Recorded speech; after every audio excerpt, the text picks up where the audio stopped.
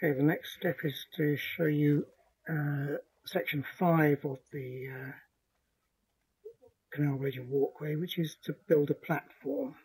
So we'll choose uh, item 5, which is a simple platform.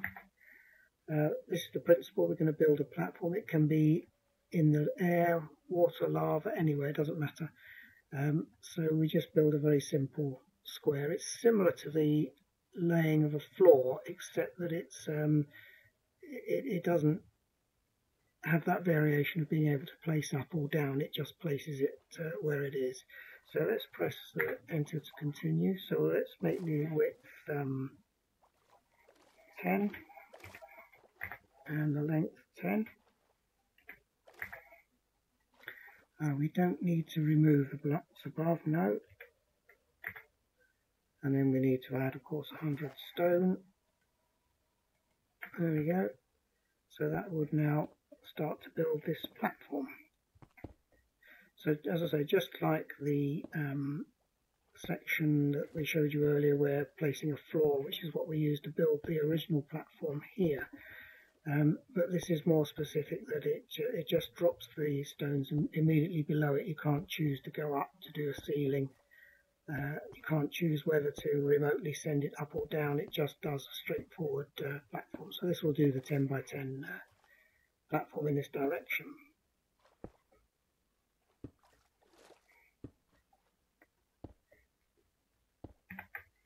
Okay, so the uh, platform is now completed. Uh, turtle sat there, and then you can build on top of this or do whatever you uh, you wish with it. Right, the next thing we're going to look at is the, uh, the sinking platform, which is again part of the uh, uh, pathways and so on. So uh, I've got here an existing platform 10 by 10 and I want to create uh, a, a, chamber um, but of course this is all in water so we'll do number 5 as usual and this time we're going to use the number 6 here which is the sinking platform so the principle of this is that you stand the turtle in one corner or on one corner and it will um, create a platform and then uh, take it down by one level at a time and rebuild it so that you're constantly rebuilding by placing blocks underneath uh, the turtle so that the, the platform sinks. So um, let's press uh, enter on that one. So the width excluding the retaining wall is 8. So I want to make it 8 by 8. So this is a 10 by 10 platform. So we'll make it 8 by 8.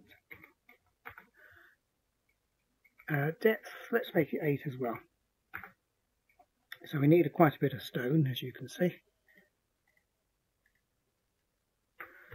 So what it does next is it goes down, checks to make sure that it's got stone all the way around it, and then as it progresses and cuts through a rectangle of stone, it drops stone below it, as you can see.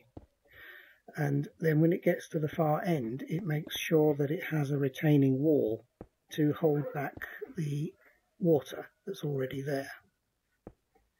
So any minute now it should and it, when it gets to the corner it um, it adds a stone here just to block off any water sources. You'll see that in action later. I've actually could have made it a slightly longer but yeah, it doesn't matter. Um,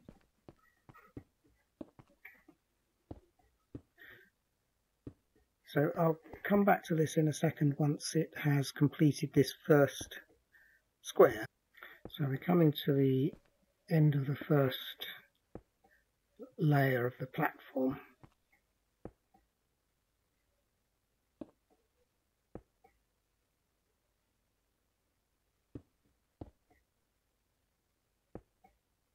Now it's going down and doing the second layer. So what it will do is to place a block under here and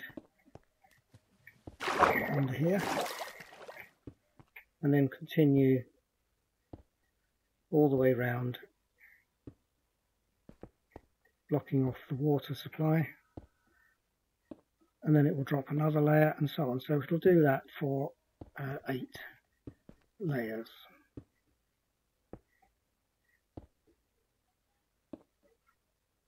Now this is why I put the one in the corner here because there was a source block here so by rising up and putting a block in and then destroying it again it gets rid of that source block. If you don't do that then it stays flooded. So this is now four blocks deep so it's uh, halfway finished.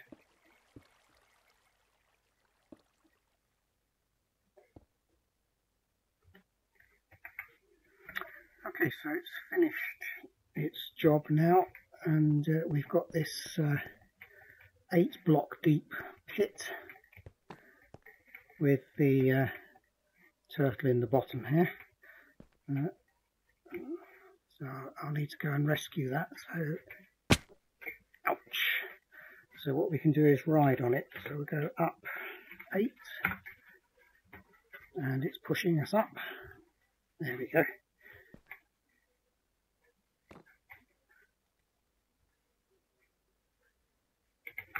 So it's obviously dug in to the uh, the base there. We've got dirt, gravel, sand, even clay. So um, we've obviously dug deeper than that. So I can use this for some kind of um, storage, I think. So I'll probably make a an entrance through into the main uh, house at some point.